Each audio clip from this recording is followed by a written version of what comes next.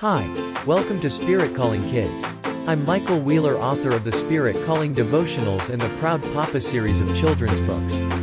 If you like these videos, please hit the thumbs up button and share them with a friend. Now please join us as we sing the Spirit Calling song.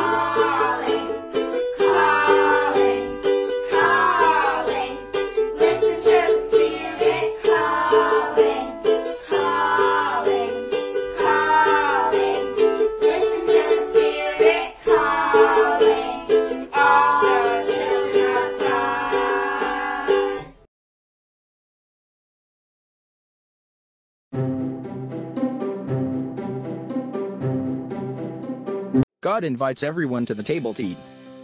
Bring a guest. You provide delicious food for me in the presence of my enemies. You have welcomed me as your guest, blessings overflow. Psalm 23 5 I am hungry. I usually am starving after watching the sheep all night. You may not understand this, but I don't eat breakfast in the mornings when I work overnight, tending our sheep. I am not just getting up. I am eating my last meal of the day. So, I am eating supper. What is your favorite food?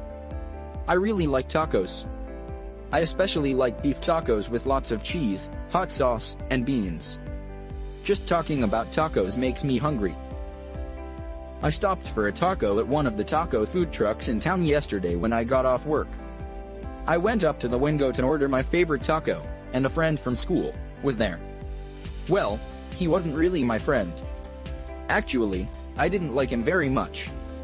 After I sat down to eat the taco, I looked at it before I ate it. Did this person do something to my taco before he gave it to me? Suddenly my taco didn't seem as appealing.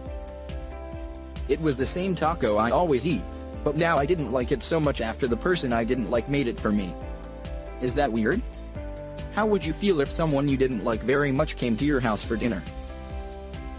My father told me that I shouldn't think that way. First, food is food, no matter who made it. They could do a good job or bad job in preparation, but the food is the same.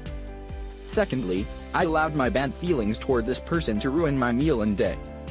Dad said I should ask myself why God loves this person rather than why I don't like the person. I think Dad is correct, but I didn't think anyone could ruin my taco just because I don't like them. Let's see what Peter is doing. I think he likes tacos.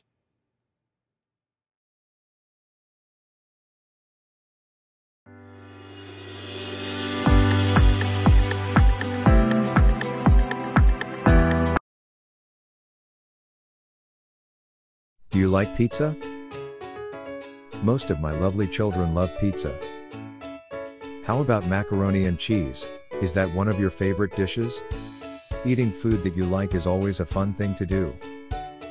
When you share your food with someone you like, that is even more fun, isn't it?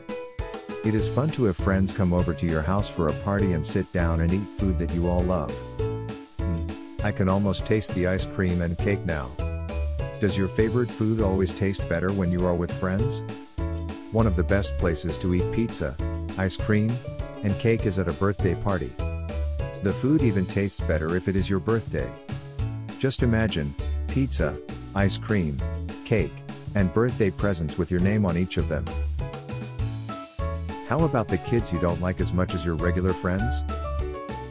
Do you think they want the foods you eat? Would it be as much fun to have kids over who aren't your friends?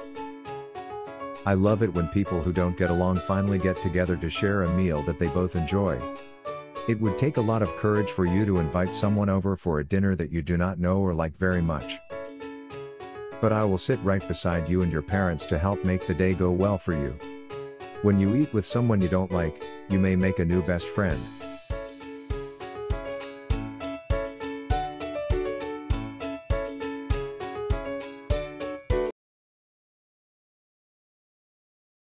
Hi kids. Are you ready to continue learning more of David's Psalm, or Psalm 23?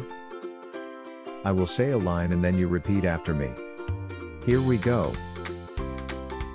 Because the Lord is my shepherd, I have everything I need. He lets me rest in the meadow grass and leads me beside the quiet streams. He gives me new strength. He helps me do what honors him the most. Even when walking through the dark valley of death,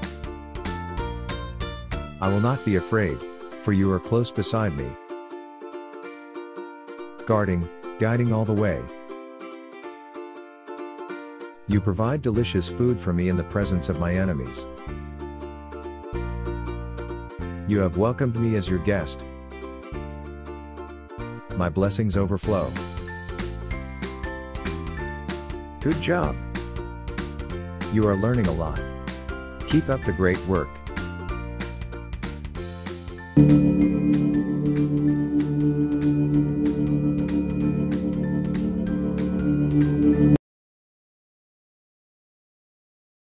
Thank you for joining us today.